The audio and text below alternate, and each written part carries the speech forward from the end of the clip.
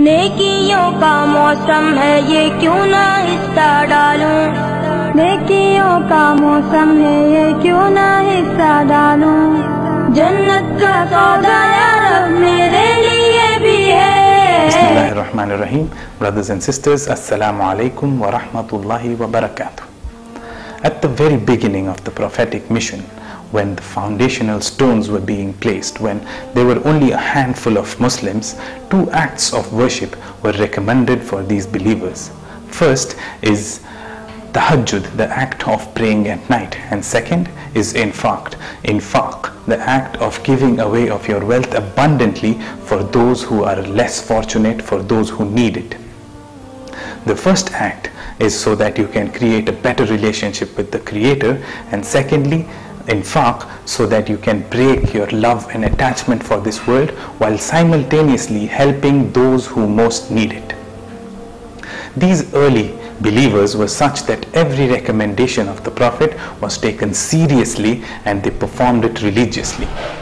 As and when the mission grew and more and more people started joining the mission of Prophet Muhammad, then only a recommendation was not enough. Therefore, this act of giving away of your wealth was made a right of the poor people.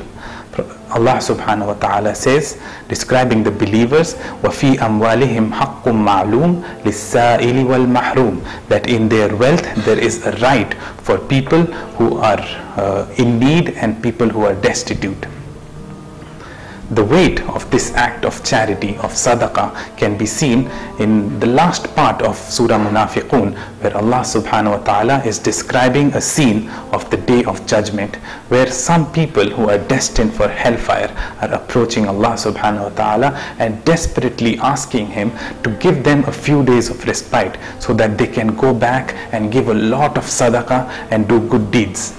Over here, we can see how important the, the act of sadaqah is. Again, when the mission grew further, when governance of a state became part of the mission, keeping this act of giving away of your wealth in charity as a recommendation or a right of the poor people was no longer enough.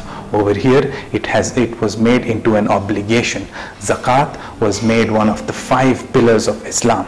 But this time it was made easy for us. It was made into 2.5%. That is, if you have 100 KD with you, you have to give 2.5 KD away in charity, in zakat.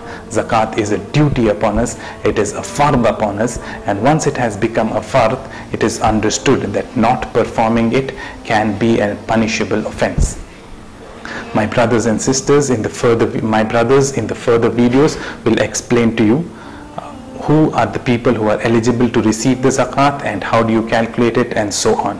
This video, brothers and sisters, was a short reminder for me and for you that zakat is our duty and we must perform it. I hope this was useful. Jazakallahu khair. Assalamu alaikum wa rahmatullahi wa barakatuh. नेकियों का मौसम है ये क्यों ना हिस्सा डालूं जन्नत का सौदा या रब मेरे लिए भी है